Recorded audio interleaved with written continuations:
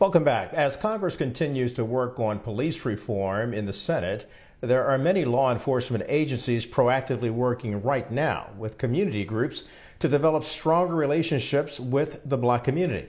So tonight we focus on how the organization Hope for Prisoners and the Las Vegas Metropolitan Police Department are working together to help transform the lives of incarcerated men and women to help them successfully reenter the workforce, their families, and community.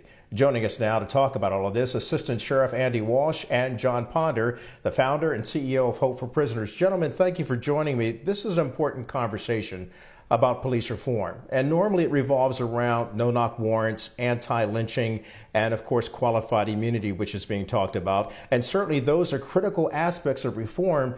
But you're also involved in another type of reform by helping those who are incarcerated. Jon, let me begin with you. How does it work? Yeah, so thank you so much for having me here, uh, Kelly. Uh, you know, our organization works with the men, women, and young adults that are exiting different arenas of our judicial system to help them to successfully reintegrate back into our community, making sure that we are providing the sort of the supportive services to help them to do that uh, effectively. We do that through uh, training and mentoring, and one of the things that has been tremendously successful uh, with us is that mentoring and training comes from some of the men and women from the Las Vegas Metropolitan Police Department that serves as mentors and trainers to help the men and women uh, not only get out in the community uh, and not ever reoffend again, but the police department has come alongside to see what can they do to help men and women begin to live levels of life that most people only dream of, and it has been very uh, effective. Sheriff, my understanding is that there are about 120 uh, officers from the Las Vegas Metropolitan Police Department who are enjoined in this effort. And actually, some of the people that have been arrested, you are actually partnering with and mentoring them to help them back on the road to recovery to be transformed. How does that happen?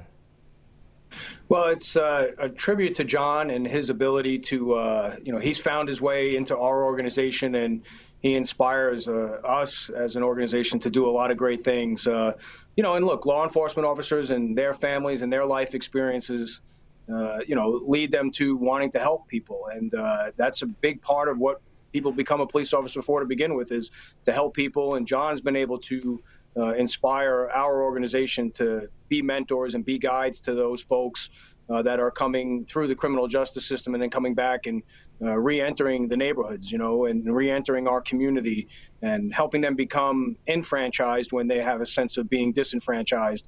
And the police are part of the group or part of the world that they look at that they're disenfranchised from uh, when they're coming back to the community. And this is a, just a, a, great program that we've been a part of for uh, you know about 10 years and uh, it's worked effectively for us and uh, the, in bringing families and being bringing people back together and bringing them back into the community and so how does it help to the bigger picture of, of police reform which seems to be languishing right now in the congress real quickly sheriff yeah, you know, you know, Kelly, it's a great uh, point because uh, we use the term police reform, but um, you know, more appropriately to be discussed, I think, on the national level will be, you know, criminal justice reform. It's not just the police. There's so many parts of the criminal justice system that, you know, constantly uh, we need to look at and need to review and need to make sure are, are working effectively. And you know, yes, uh, understandably that there are concerns with policing in general, but uh, also there's parts of the criminal justice system that uh, can can